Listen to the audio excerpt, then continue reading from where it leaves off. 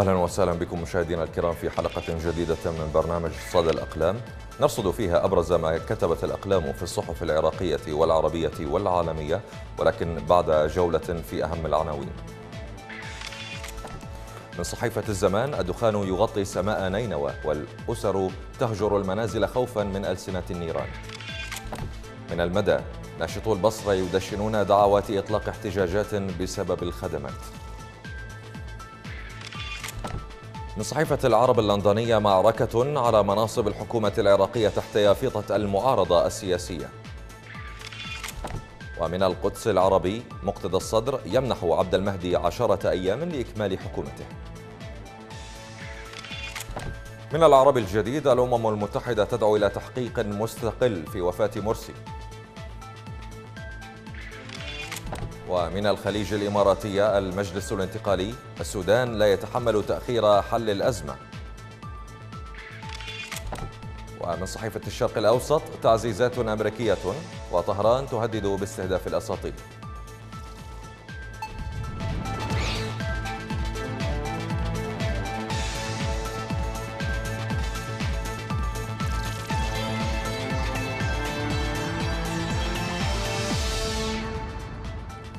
أهلا بكم. لم يعد بالإمكان حتى تخيل ما تسعى القوى السياسية العراقية إليه هذه الأيام. ففي أكثر خيالات الشعب العراقي انفلاتا لم يكن يتوقع أن يتم الاتفاق على توزيع أربعة آلاف منصب في الدولة العراقية على طريقة قسمة الغرماء بين الأحزاب الرئيسة.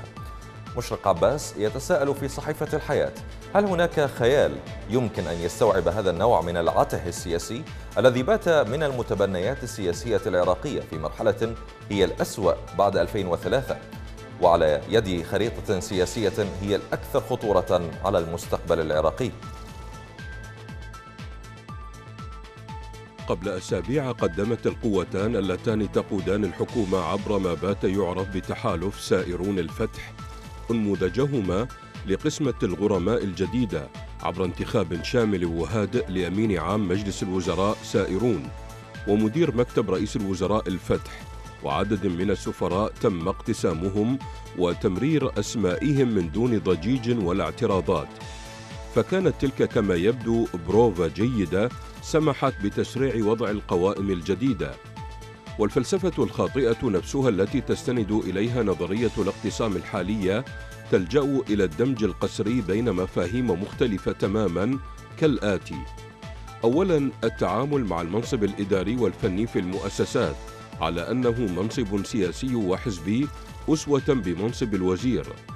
ثانياً ترجمة مفهوم التوازن في مؤسسات الدولة باعتباره معياراً حزبياً وطائفياً وقومياً عددياً. ثالثا تجاوز آليات الدولة التقليدية التي تعتمد الخبرة والتسلسل الوظيفي والنزاهة إلى تسليم الدولة لقناعات مجموعة أشخاص يوزعون مقدراتها فيما بينهم. رابعا فتح الباب للفساد الأكبر عبر السماح بتنافس يقوم في الغالب على نظرية الرشوة التي بدأت روائحها تنتشر. خامسا التعامل مع منصب إداري أو فني متخصص على أنه منصب تابع لحزب. وبالتالي فإن المدير سيكون عليه خدمة أغراض ومصالح وصفقات بل حتى موظفي حزبه في المؤسسة التي يديرها. يضيف الكاتب أنه قبل المضي إلى هذا الخيار وقبل استخدام شعار أن خريطة دولة الوكلاء أسسها المالكي لصالح حزبه في مراحل سابقة وأن ما يجري اليوم هو محاولة لتعديل المسارات وليس الهدم. يجب الانتباه إلى أن تصحيح الأخطاء لا يتم عبر أخطاء أكبر وأن اقتسام الدولة ليس جوابا لأسئلة العراق الحائرة.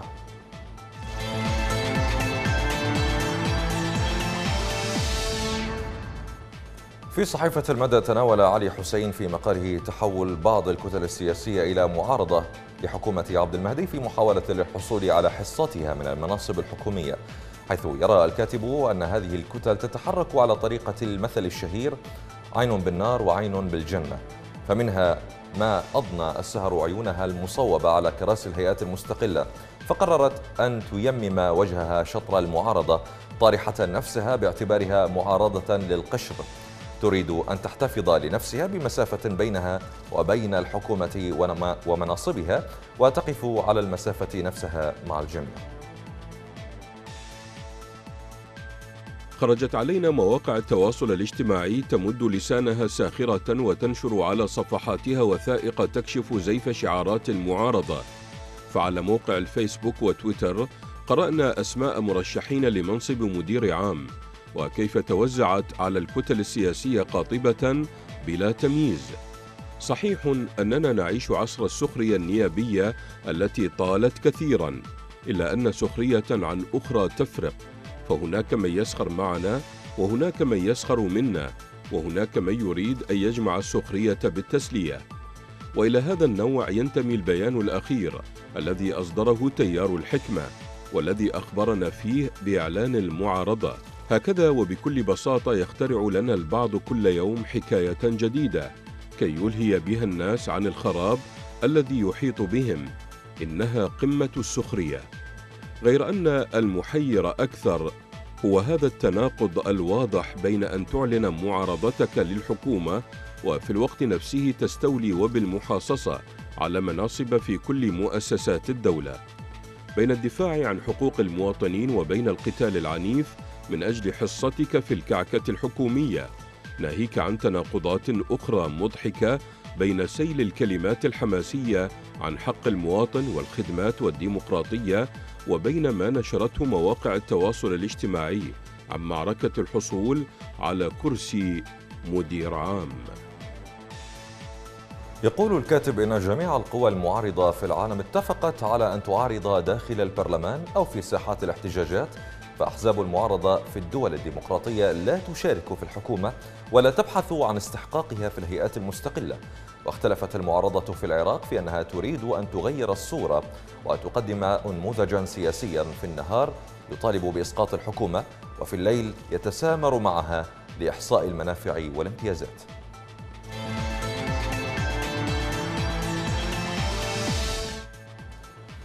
نشر موقع حزب الدعوة مقالا لأحد دعاته يقول فيه إن الحزب رسالة رسالة إلهية زكية هادية منقذة من الكفر والجاهلية والضلال والإلحاد. رشيد الخيون يرى في صحيفة الاتحاد الإماراتية أن حزب الدعوة لا يريد نقدا لمسيرته ويتخيل نفسه أنه صاحب الفضل على العراقيين مدعيا أنه أشبعهم من جوع وآمنهم من خوف. فبحسب ادعاء خطبائه المأزومين لولاه ما كانت ثقافة بالعراق ولا كرامة ولا حرية. أسقط لهم النظام السابق حررهم من الأمريكان وهو الذي يطارد الفاسدين ويحفظ هيبة الدولة. سطور موغلة بالغرور. تصوروا أن الله حافظ لحزب الدعوة كحفظه للقرآن لكن الانشقاقات الكثيرة والعراك في أيام المعارضة على مغانم كعقار حسينية مثلا والأربعة عشر عاما من السلطة تكشف الافتراء في ادعاء القدسية والحفظ الإلهي. رفع خلالها الفساد إلى أعلى المستويات تحول به أصحاب الحرف البسيطة إلى أصحاب ثروات واغتيل من اعترض على أحوال العراق في ولاية أمينه الثانية. نصب الحزب له خطيبا يبث التكفير على اليسار واليمين ويجيد الكذب. أول سؤال يوجه للقادة الدعاة ورفاقهم ماذا كنتم عليه قبل 2003 وماذا أصبحتم بعدها؟ كم فضائية قضمتم أموالها من المال العام؟ وكم عقار سيطرتم عليه بحجة الشراء؟ هل كان الفساد في ظل سلطة الدعوة يتناسب أن يقرن وجود هذا الحزب بوجود الدعوة الإسلامية الأولى وسواها جاهلية وكفر؟ يحاول الحزب بقياداته الحالية أن يعتبر نفسه ذلك الذي تأسس عام 1959 وكان أولئك الناشطون فيه لو عادوا إلى الحياة وشاهدوا كيف تبدلت الأحوال.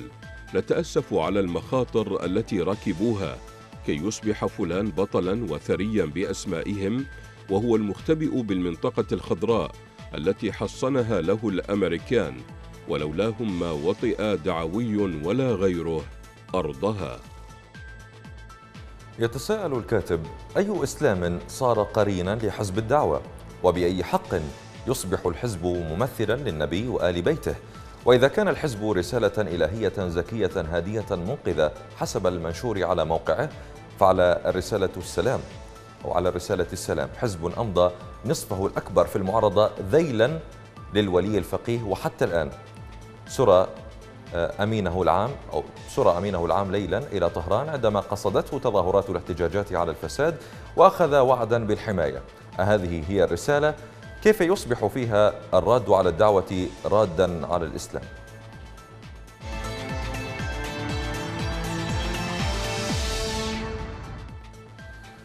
لعل من أكثر الأحداث سخرية في المشهد العراقي ادعاء حكومة بغداد لعبها دورا وسيطا بين الولايات المتحدة وإيران في سياق الأزمة المفتعلة بينهما التي تنامت مؤخرا في ظل أجواء معقدة تعيشها المنطقة.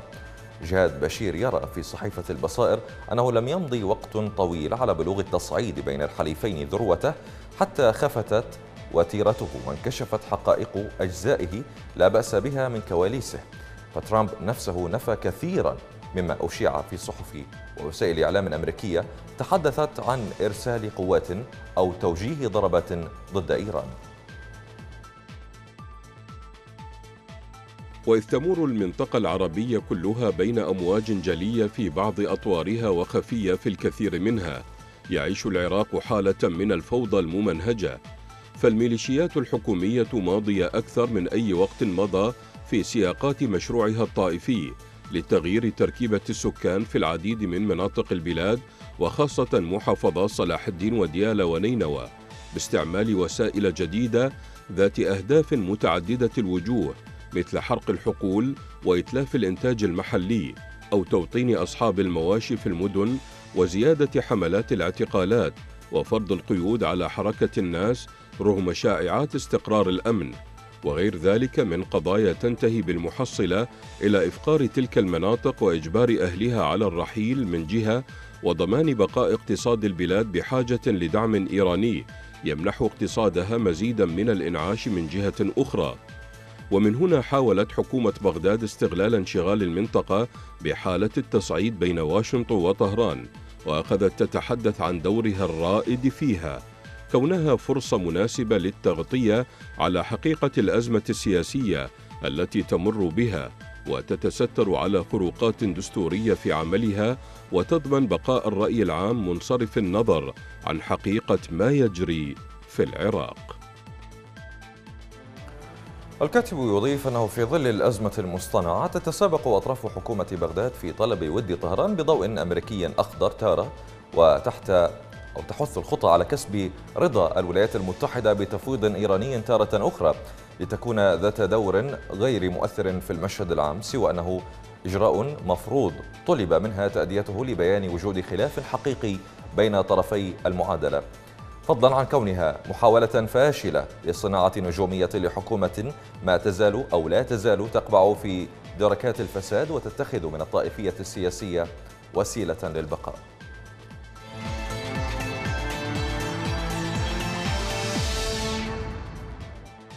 لا توجد رغبة أمريكية في تغيير النظام الإيراني رغم أن مخاطره على المنطقة والموجود من ملفات داخل البنتاغون والبيت الأبيض والخارجية والمخابرات لا يتجاوز اللعب بالعقوبات الاقتصادية. ماجد السامرائي يرى في صحيفة العرب اللندنية أن هذا الأمر يضع الرئيس ترامب في حيرة أمام التعاطي مع الأزمة الأخيرة التي أشعلها النظام الإيراني في مياه الخليج بهجوماته المتكررة على السفن التجارية النفطية العالمية كتنفيذ لاستراتيجية الرد على عقوبات واشنطن بما سمي تصفير صادراته النفطية. ظل ترامب يلعب بقدراته الخطابية ذات الإيقاعات المتعددة فإلى جانب قراراته بنشر القوة العسكرية المرعبة لطهران في الخليج ومواصلة العقوبات الخانقة. تبادل مع الإيرانيين رسائل ناعمة داعيا إلى المفاوضات إلى درجة أوحى بها وكأنه حبيب الإيرانيين. لا نريد إيذاء إيران. لكنها رسائل الإذعان الإيراني بلا حرب عسكرية. فهمها كذلك علي خامنئي ورد عليها خلال تواجد رئيس الوزراء الياباني في ضيافته كمبعوث للحوار. حيث تم تفجير البواخر النفطية وبينها اليابانية في خليج عمان في عملية كانت بصمات طهران واضحة عليها. معتقدا أنها الطريقة التي تعطيه إمكانية اللعب في المفاوضات لكنه سلاح الخاسر فالعالم لا يرضخ لتهديدات الخاطفين والمارقين على القانون الدولي. ولكن السؤال المهم موجه الآن إلى ترامب. هل يحتاج إلى مزيد من العدوان العسكري على العالم وعلى أهل الخليج ليقرر التأديب؟ وهل سيبقى في إطار اللعب الاقتصادي الذي لا يردع نظام طهران رغم ما يؤدي إليه من أذى على الشعوب الإيرانية وهو ما لا يهتم به الحاكم الإيراني أم ينتظر آه، تحقق الإجماع الدولي سياسيا وهو يعلم إلى أي درجة وصلت شعوب العالم من إحباط نتيجة السياسات المزدوجة والمنافقة للدول الأوروبية وروسيا. وبحسب الكاتب فإن تصريحات الإدانة من قبل الرئيس الأمريكي لا تلوي ذراع النظام الإيراني وسياسة ضبط النفس من دول الخليج يفسرها ذلك النظام ضعفا ولهذا فإن على ترامب الخروج من حالة الحيرة أمام الغطرسة الإيرانية والانتقال إلى وضع بصمة جادة لتأديب المخربين لأمن المنطقة والعالم.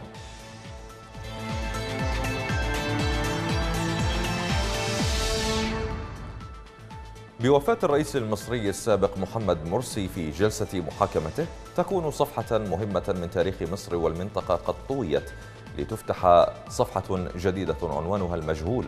مروان قبلان يرى في صحيفة العرب الجديد أن الانقلاب العسكري الذي أطاح الأمل الذي ولدته ثورة يناير بقدرة الشعوب العربية على التغيير السلمي لم يعد بالمنطقة إلى المربع الأول بل يوشك أن يقودها أن يقودها إلى انفجار عنيف. ردود الفعل الدولية الخجولة على وفاة الرئيس الوحيد المنتخب في تاريخ مصر في محبسه ونتيجة الإهمال الطبي تعين النظام العسكري الحاكم في مصر وتشجع أقرانه في المنطقة على الاستمرار في سياسات القمع التي تؤدي حتما على ما دلت الخبرات والتجارب إلى نتيجتين أساسيتين دفع الناس إلى التطرف والعنف سعيا في طلب التغيير الذي تتوهم بعض الأنظمة بالقدرة على منعه بعد أن تبين عقم الخيار السلمي وانسداد الأفق أمام التحول الديمقراطي. والنتيجة الثانية هي تعزيز القناعة بنفاق السياسات الغربية وقصر نظرها عندما أحجمت عن دعم التحول الديمقراطي السلمي في العالم العربي وتفضيلها التعامل مع أنظمة استبدادية متوهمة قدرتها على جلب الاستقرار للجم التطرف ومنع موجات اللجوء والهجرة نحوها. لقد أضاعت دول الغرب فرصة ثمينة في مساعدة شعوب المنطقة على تحقيق تطلعاتها في حياة حرة كريمة. وفي الوقت نفسه تحقيق أمنها هي والمحافظة على استقرارها وازدهارها عندما ترددت في دعم التحول الديمقراطي السلمي في المنطقة العربية وتمسكت إما بمواقف ثقافوية عنصرية تقول بلا أهلية الشعوب العربية للديمقراطية. أو اختارت الدفاع عن مصالح اقتصادية قصيرة الأمد. الكاتب يرى أن مصر تبقى المثال الأبرز على التخاذل الغربي في دعم التحول الديمقراطي العربي عندما صمت الغرب إزاء الانقلاب الذي أطاح مرسي المنتخب وحكومته ومعه حلم التغيير السلمي. لقد فشل الغرب في اعتبار الديمقراطية في العالم العربي قضية تمس أمنه القومي وتخدمه في صراعه القادم في مواجهة النظام العالمي الذي تحاول الصين بالتحالف مع روسيا بناءه. فأضاع نفسه وأضاعنا. وفاة الرئيس مرسي في محبسه تفيد في تنبيهنا إلى فداحة الخطأ الذي تم ارتكابه.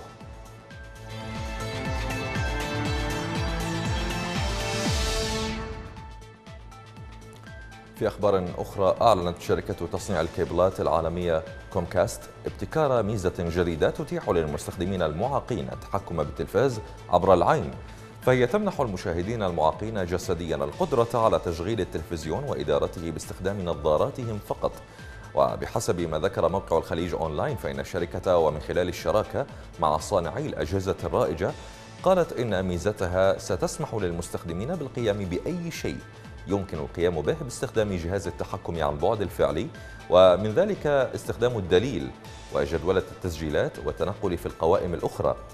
وفي السابق ابتكرت الشركة نفسها نظام تحكم للمعاقين يتم من خلال التحكم بالصوت والذي يسمح للمشاهدين بالتحكم بمنتجات مختلفة عبر الأوامر الصوتية. وتقول الشركة أن التحكم بالعين يبرز كيف يمكن للتكنولوجيا أن تحسن حياة الأشخاص ذوي الإعاقات الجسدية وتمنحهم مزيدا من الاستقلالية.